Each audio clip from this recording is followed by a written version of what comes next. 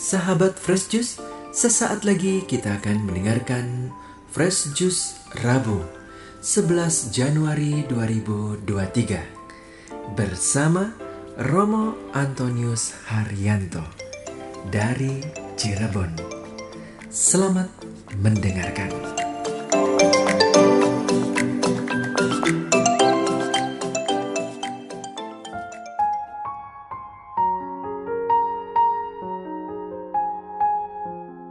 Bapak Ibu, saudara-saudari dan teman-teman muda yang terkasih, apa kabarnya? Semoga Anda baik adanya, tetap bersuka cita menjalani hidup kita. Selamat tahun baru bagi yang belum saya ucapin di tahun 2023 ini.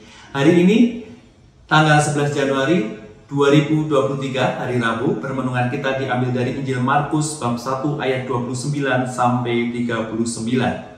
Sekeluarnya dari rumah ibadat itu, Yesus dengan Yakobus dan Yohanes pergi ke rumah Simon dan Andreas. Ibu mertua Simon terbaring karena sakit demam. Mereka segera memberitahukan keadaannya kepada Yesus. Ia pergi ke tempat perempuan itu dan sambil memegang tangannya ia membangunkan dia. Lalu lenyaplah demamnya. Kemudian perempuan itu melayani mereka. Menjelang malam sesudah matahari terbenam, dibawalah kepada Yesus semua orang yang menderita sakit dan yang kerasukan setan maka berkerumunlah seluruh penduduk kota itu di depan pintu, yang menyembuhkan banyak orang yang menderita bermacam-macam penyakit dan mengusir banyak setan. Ia tidak memperbolehkan setan-setan itu berbicara sebab mereka mengenal dia. Pagi-pagi benar, waktu hari masih gelap, ia bangun dan pergi keluar. Ia pergi ke tempat yang sunyi dan berdoa di sana. Tetapi Simon dan kawan-kawannya menyusul dia. Waktu menemukan dia, mereka berkata, semua orang mencari engkau. Jawabnya, marilah kita pergi ke tempat lain, ke kota-kota yang berdekatan, supaya di sana juga akan memberitakan di sana juga aku memberitakan Injil, karena untuk itu aku telah datang.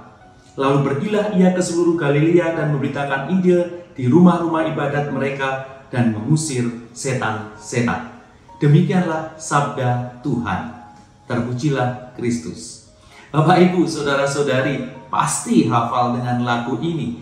Ajarilah kami bahasa cintamu agar kami dekat padamu.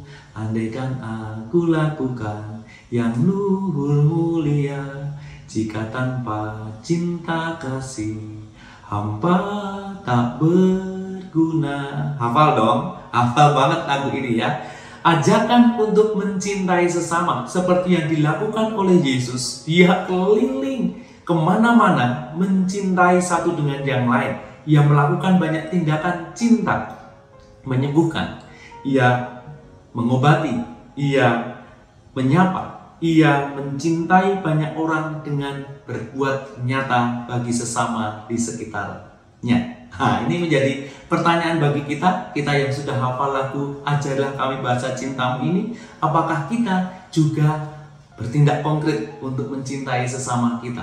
Kalau kita lihat semenjak pandemi, begitu banyak kelompok-kelompok komunitas yang terbentuk. Ada banyak macam komunitas yang kemudian terbangun. Komunitas angkatan, kemudian rindu angkatan membuat komunitas virtual angkatan. Komunikasi via Zoom, bisa Google Meet, kumpul-kumpul dan sebagainya, komunitas hobi masih ya, yang nyepeda, yang masak, tanaman dan sebagainya juga berkembang.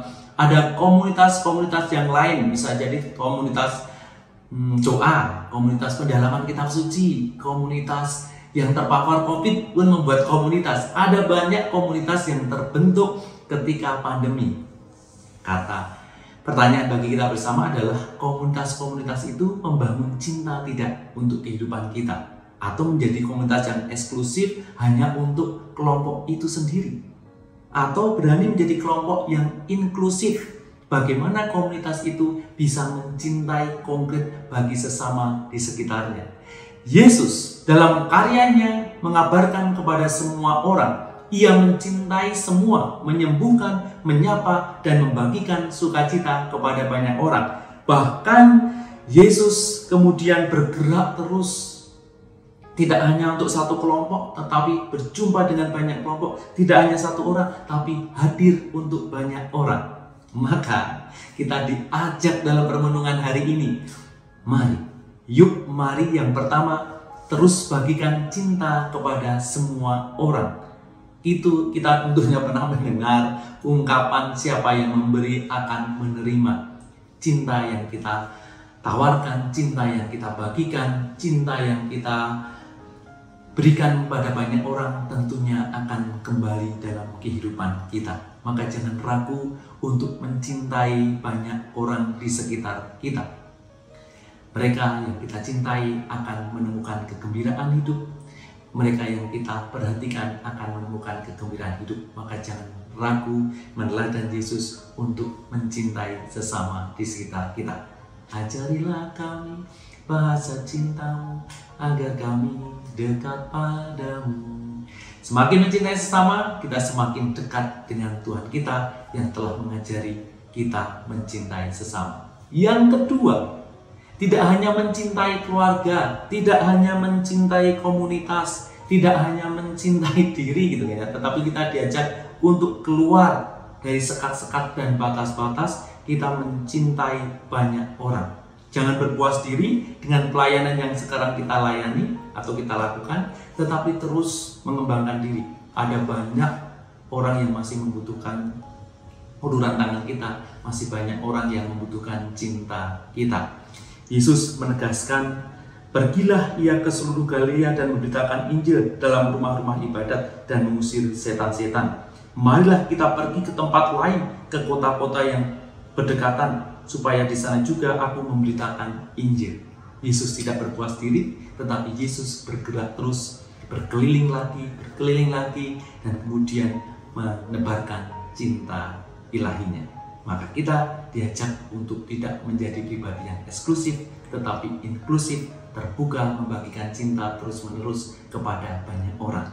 Tidak hanya eksklusif pada satu komunitas, tetapi inklusif kita berrelasi dengan banyak komunitas yang lain dan bergerak bergandengan tangan membantu yang lebih luas lagi. Semangat untuk mencintai karena panggilan hidupmu adalah panggilan untuk mencintai. Tuhan memberkati. Sahabat Fresh Juice, kita baru saja mendengarkan Fresh Juice Rabu 11 Januari 2023. Terima kasih kepada Romo Hari untuk renungannya pada hari ini. Sampai berjumpa kembali dalam Fresh Juice edisi selanjutnya. Tetap semangat, jaga kesehatan dan salam Fresh Juice.